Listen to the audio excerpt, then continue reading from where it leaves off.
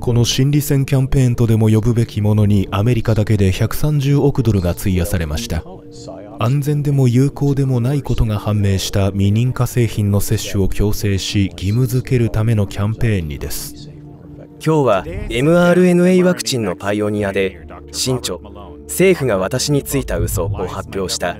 ロバート・マローン博士にお話を伺います。今イーロン・マスクはアメリカ政府が産業界と結託し憲法で認められた表現の自由を侵害しようとしていたという信じられないような情報にアクセスできる立場にいます。情報戦心理戦そして過去3年間に目にしてきた一連の不可解な出来事をどう理解するかについて掘り下げて議論します。あなたの心や考え、感情そのものが戦場です。あなたが何を信じるかにかかっています。アメリカ思想リーダー、ヤン・エキレックがお届けします。